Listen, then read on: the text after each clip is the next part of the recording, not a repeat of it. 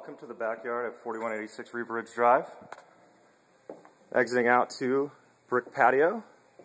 A couple steps down to your pool area. Beautiful built-in pool.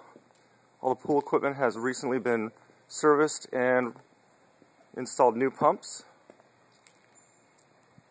Huge backyard grass area here. Backyard offers lots of privacy. We're going down this brick pathway to the side of the home here. Large side yard. A little gardening house here. Exiting over to the little private brick patio into the hot tub.